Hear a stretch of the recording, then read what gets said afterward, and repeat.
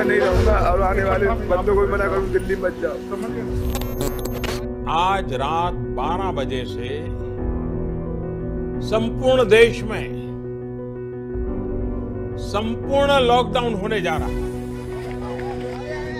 एक टाइम का किचड़ खाने के लिए कम से कम नौ साढ़े नौ बजे खड़े हो जाओ बैठे रहो लाइन पे तो कम से कम ग्यारह बज जाता। क्या करें? ऐसे भी जब भूखा मर ही रहा है तो सोच रहा है कि रास्ते भी मरेगा साले। कोरोना महामारी के खिलाफ ये कदम अब बहुत आवश्यक है